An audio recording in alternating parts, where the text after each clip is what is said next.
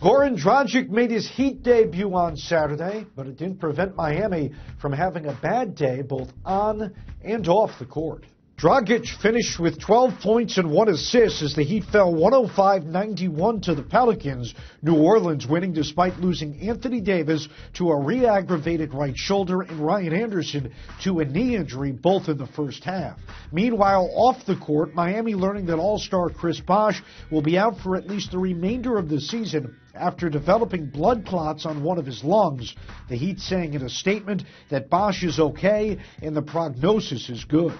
Meanwhile, the prognosis also good for Kevin Durant. That according to Thunder general manager Sam Presti, who said he was not concerned despite Durant sitting out Saturday's 110-103 win over the Hornets. Russell Westbrook led the way for Oklahoma City with 33 points, 10 assists, and 7 rebounds, while Enes Kanter, DJ Augustin, and Kyle Singler combined for 28 points in their Thunder debuts.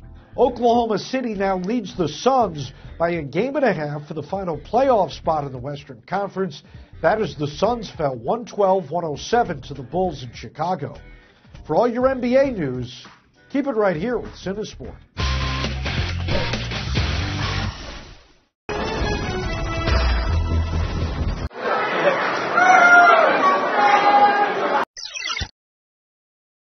This guy made history at the Big Apple's main event of fashion. Why?